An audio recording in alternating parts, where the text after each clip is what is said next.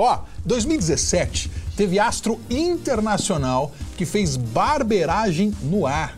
Famosas que não pararam de brigar. Teve cantora que brigou aí na justiça para não vender suas calcinhas. É isso? Acredita Elas nisso? fazem de tudo. Elas fazem de tudo e aprontam bastante. A Tina Roma, ela vai contar pra gente quem deu, quem é que deu o que falar nos Estados Unidos. Olha, Despacito! Os americanos se renderam à música latina.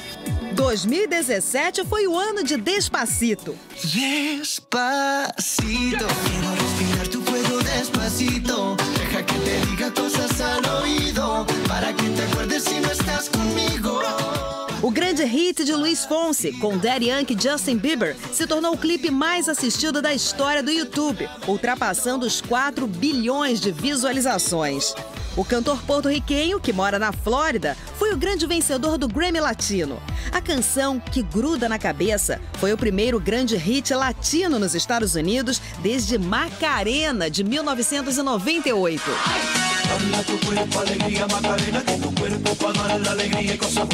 Bala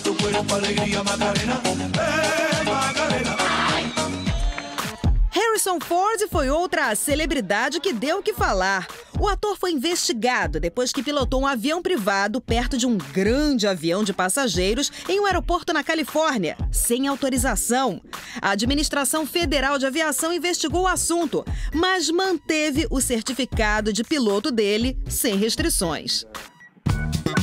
Madonna conseguiu cancelar um leilão de 22 itens pessoais dela, incluindo calcinhas usadas, uma escova de cabelo e uma carta do ex-namorado, rapper Tupac Shakur.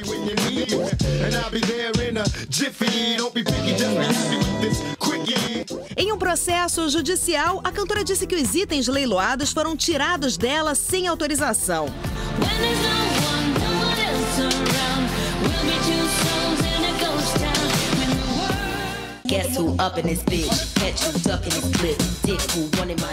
E por falar em invasão de privacidade, a Azealia Banks arrumou briga com Rihanna.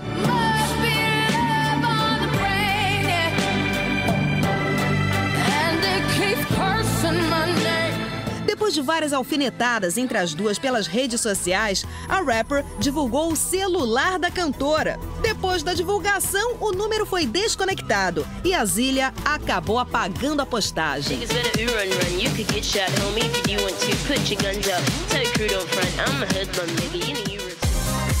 Katy Perry mudou o visual radicalmente. Virou jurada de um programa de TV, enchendo o bolso com um contrato de 25 milhões de reais. Swish, swish, bish.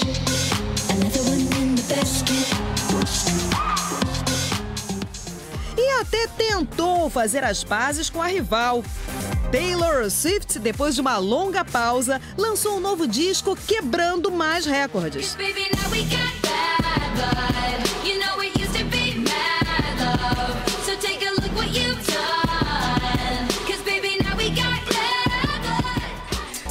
a briga entre as duas pode continuar em 2018, pelo menos nas paradas de sucesso.